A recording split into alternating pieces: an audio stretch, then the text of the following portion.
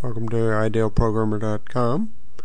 We're reviewing a 26 hour uh, free video series called ASP.NET Soup to Nuts uh, by Microsoft expert uh, Bill Steele.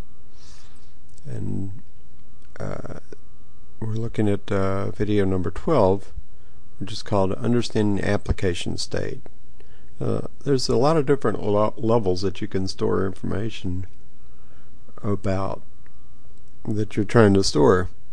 You can do it uh, for a particular web page with view state. You can do it for the user at session state, uh, but then for the application state, you use the application uh, variables that are stored in the global ASAX file. And this is a 60 minute uh, video. So please come to idealprogrammer.com to view the video. Thanks.